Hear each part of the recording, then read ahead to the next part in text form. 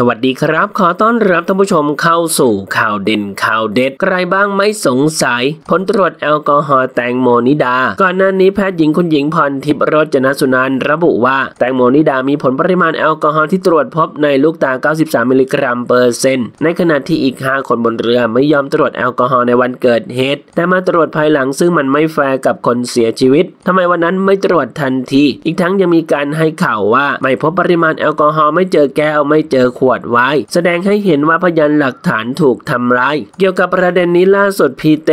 007ได้โพสต์ข้อความลง Facebook ส่วนตัวว่า Hashtag เชื่อได้หรือไม่ Hashtag แตงโมเมาคนเดียว Hashtag ผลตรวจเลือดปอจ็อบโรเบิร์ตไม่พบแอลกอฮอล์และสารเสพติด ผลตรวจเลือดแตงโมพบแอลกอฮอล์93มิลลิกรัมเปอร์เซ็นต์เทียบดื่มเหล้า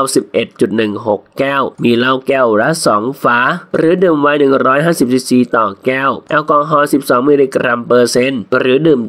7.75 แก้ว เรือสปีดโบ๊ททั้งลำ 6 คน ขี้เมาคนเดียวจริงหรือไม่ ข้อมูลแอลกอฮอล์ 50 มิลลิกรัมเปอร์เซ็นต์ การมองเห็นลดลงความสามารถควบคุมร่างกายช้าลง แอลกอฮอล์ 90 มิลลิกรัมเปอร์เซ็นต์ถึง 100 มิลลิกรัมเปอร์เซ็นต์คลื่นไส้อาเจียนเดินเซ พูดไม่รู้เรื่อง การตอบสนองตัดสินใจช้าลง ถ้าขับรถทางบกชนคนตายถ้ามีแอลกอฮอล์เกิน 50 มิลลิกรัมเปอร์เซ็นต์ทำให้ผู้อื่นเสียชีวิตปรับ 60,000 ถึง 200,000 บาทจำคุก 3 ถึง 10 ปีในประเด็นดังกล่าวทำให้ชาวเน็ตยิ่งเข้ามาแสดงความคิดเห็นเป็นอย่างมาก ซึ่งหลายคนต่างก็เชื่อว่าแตงโมไม่น่าจะทำอย่างนั้น พร้อมกับยิงกระหน่ำแฮชแท็กทวงความยุติธรรมให้กับแตงโมอย่างต่อเนื่อง ท่านผู้ชมครับ มีความคิดเห็นอย่างไรกับเรื่องนี้ลองแสดงความคิดเห็นกันเข้ามาดูนะครับ ขอขอบคุณข้อมูลจากสยามดราม่าขอบคุณครับ